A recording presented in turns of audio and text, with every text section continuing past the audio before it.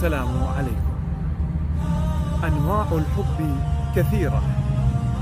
منها شخص يحبك لأنك حقا محبوب. وهذا رزين أمين.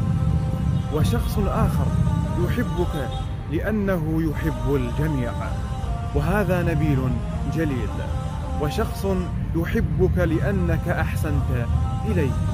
وهذا وفي نقي. وشخص آخر يحبك لأنه يرى فيك صورة روحه وبلسم لروحه وهذا حبيب قريب. فمن أي المحبين أنت؟